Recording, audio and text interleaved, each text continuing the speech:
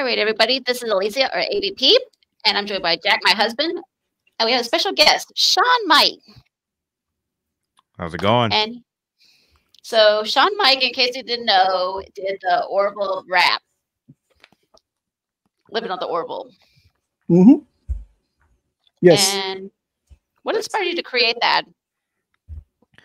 Well, so I was hit up by Orville Nation, PJ. Okay. I'm sure you guys know, you know, the Orville community is so connected. I'm sure you guys Mhm. know what it is. Um, and Tia from Tia and Telly, they said you, um, Maria from Tia and Telly, excuse me, they said you should make an Orville song. Um, they originally found my raps, one of my songs that I did on X, Twitter, whatever you want to call it. Call it Twitter for just this interview, I guess. Um, but they found one of my raps and they said, Yo, this is really good. Like, we want to interview you, but you should make a song about the Orville. And the most recent season was going at the time. It was on Mhm. the air, Horizons. Um, and I was kind of like, it was like the perfect time to make a song because the season was just, it was such a phenomenal season, you know Yes. Mm-hmm. you know so i was like really inspired to like write the song at the time Mhm. so i forget what episode it was it was the one where Ensign Burke sacrificed herself Yes. i forget what Yes. the name of that episode is Uh, Let me see. I think it was Domino, maybe. yes, it was Domino, Domino. yeah. so i had just finished watching domino right and uh you know i, I knew exactly how i was going to start it because i found the beat i went through i found the beat on youtube uh and i purchased the beat from the producer vb guy he shout out to him but and I, s- and I heard the beat and i was like man this sounds perfect it sounds sci-fi i like the instruments that are associated with it and i just finished that episode that's why i start off the verse i sacrificed my life like i'm Ensign Burke to spit a verse i had just got done watching that episode and I just kind of thought about the whole song's really kind of like a it's a double entendre about Mhm. the Orville Mhm. and just my life. That's why it's called living on the Orville. So Mhm. I mean, to, t- to give you a really long answer for such a simple question, no Um, problem. uh, I was just really inspired at the time. I had the right people in my circle to motivate me, and the Mhm. show was going on, and I was just kind of really feeling the Orville vibe. Cool. That sounds good.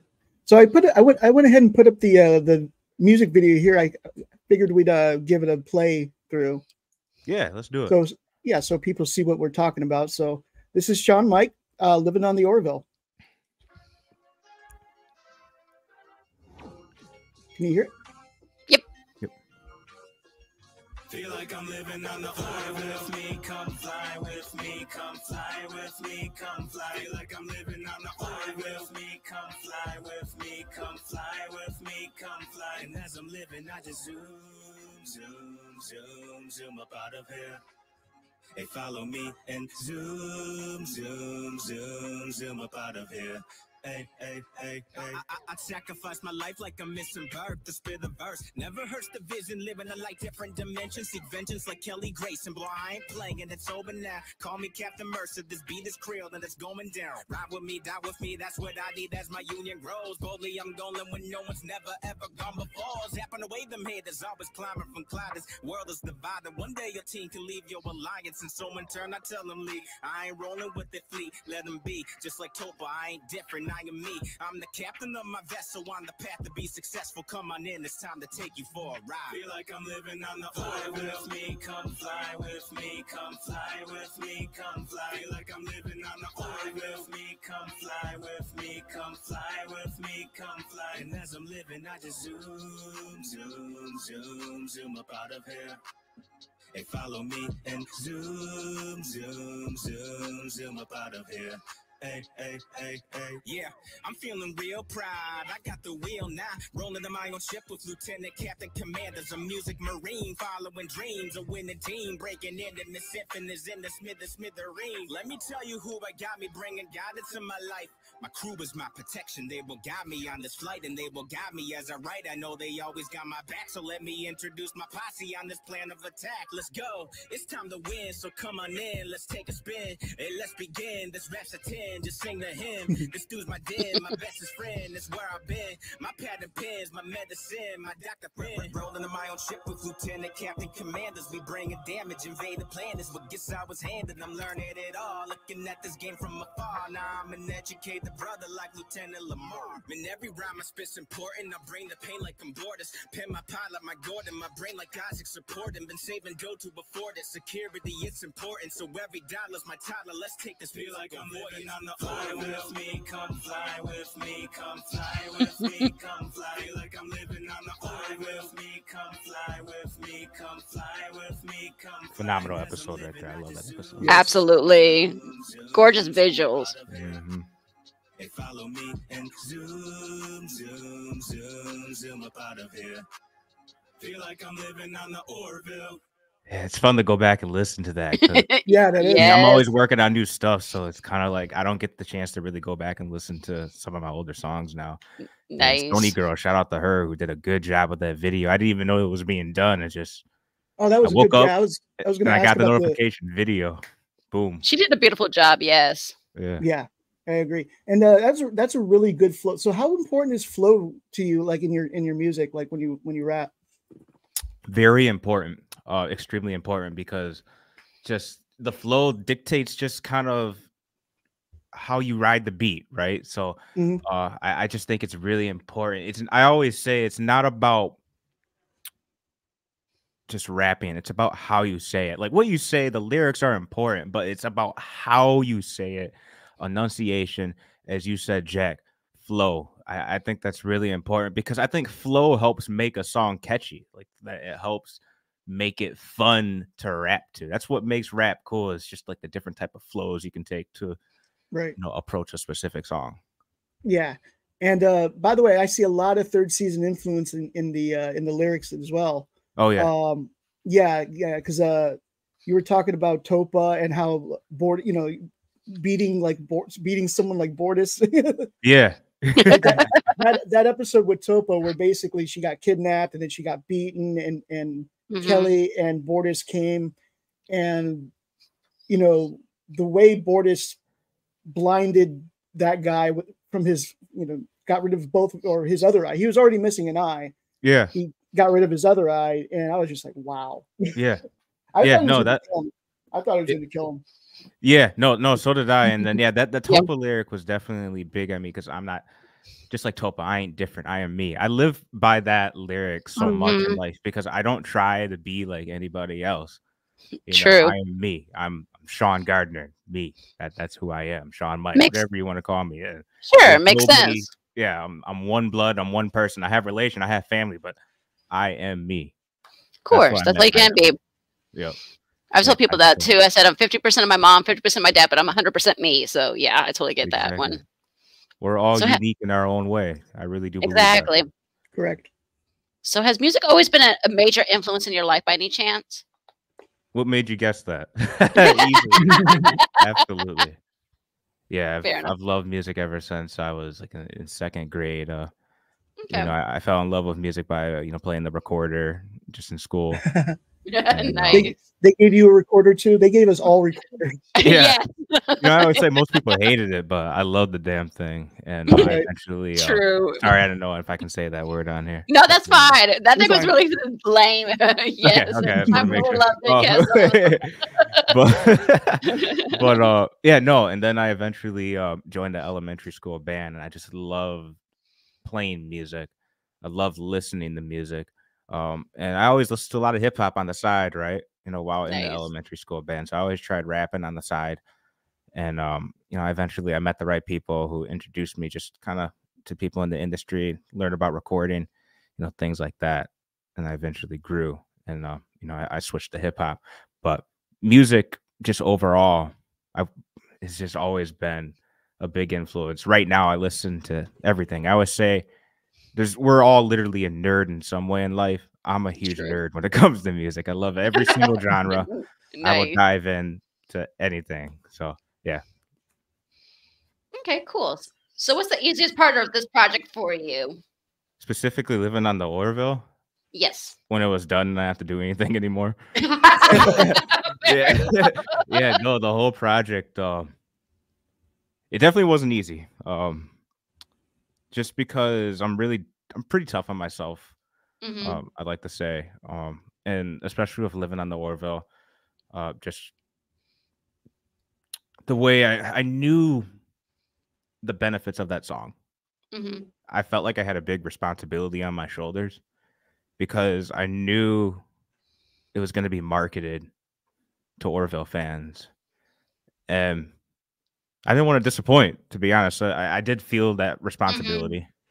So I really tackled living on the Orville, uh, you know, as best that I could. Uh, to I I really wanted to give a perfect song for people of the Orville, you know, fans. For you know, I wanted them to give them a song that they could listen to, Makes something that they can Yeah. enjoy, sing. It was good. So it wasn't easy.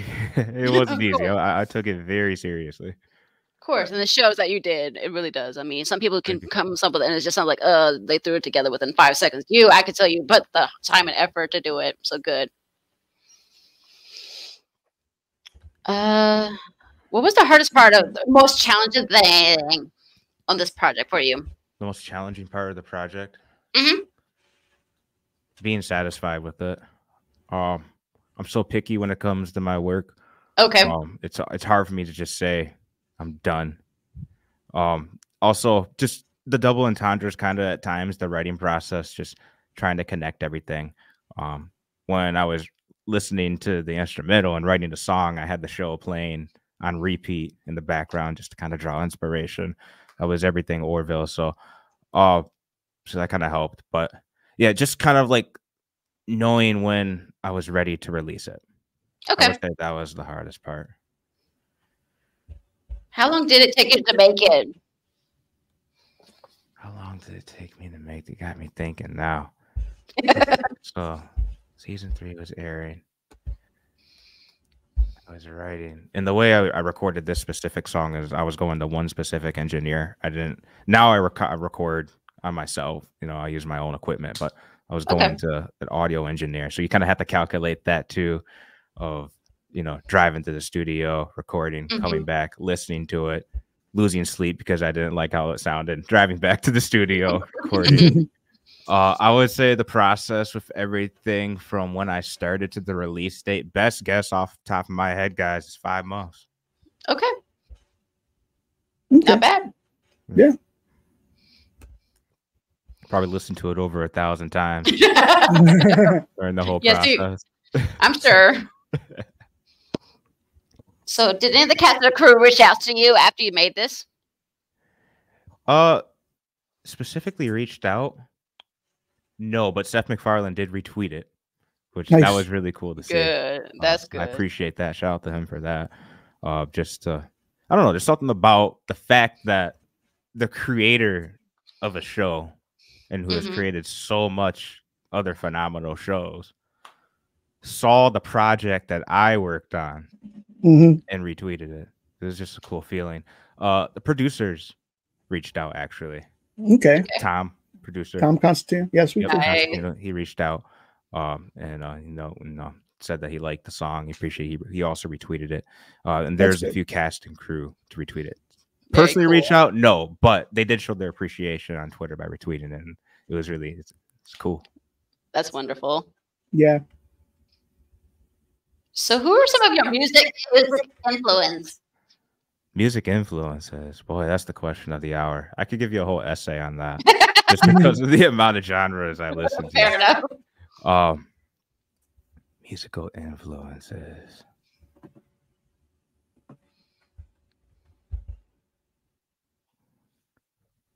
So you have to think about. I can name so many artists, but I feel like the answer to that question changes every time. Fair Because enough. again, because of all the artists that I listen to. But just Sure. to like think of like artists immediately, definitely Logic. I don't know if you Okay. guys how tapped you are into the rap Yeah. industry, but Logic.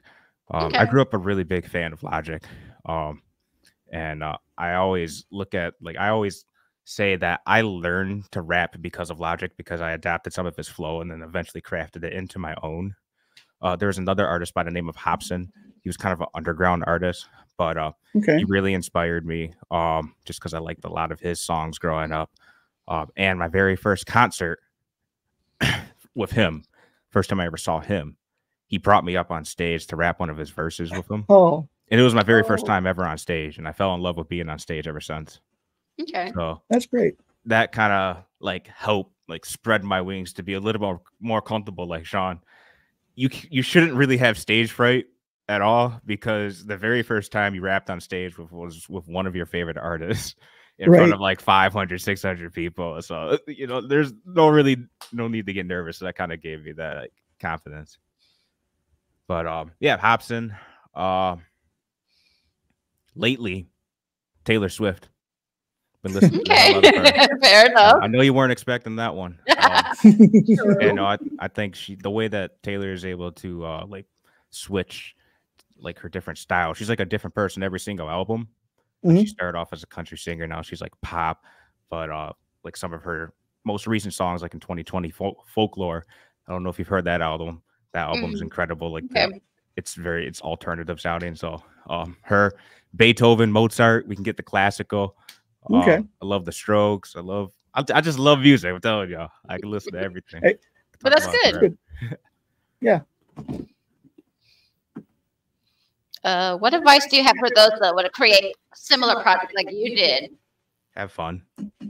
Have fun. Um, don't worry about metrics. Don't use things like likes, comments, and social media to say that that's the re. Don't let that depend on if your product is good or not, because we're living. It's a flooded market, so you just gotta have fun with it, enjoy it.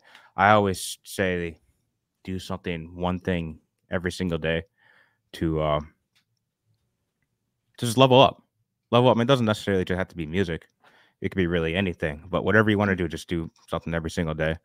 Uh so i mean with music i i love playing the piano. I've been you know really trying to kind of master that uh learn another instrument. Plus it really helps with music theory. But main thing have fun.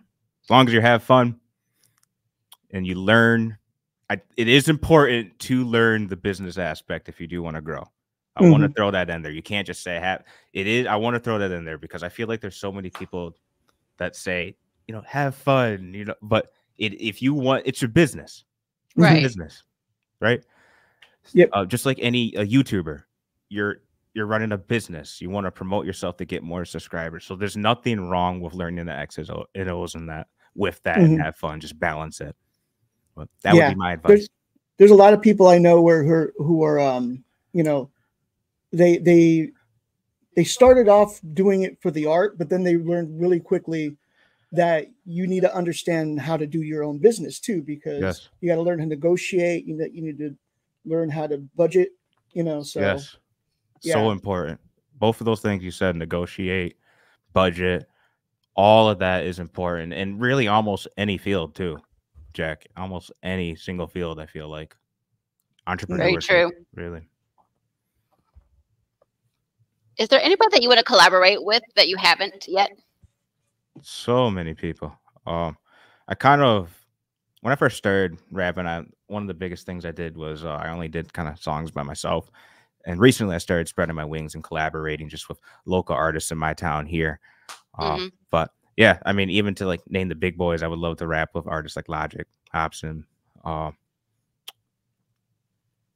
really anybody, almost Mhm. anybody that I, you know, that I feel like that number one that inspired me because Mhm. who doesn't want to make a song with an artist that inspires you or inspired you to become who you were and number two just from the simple fact that i think we could make awesome art together and that's the most important thing at the end of the day is making phenomenal artwork for the world to hear that's why we love Mhm. music Makes sense.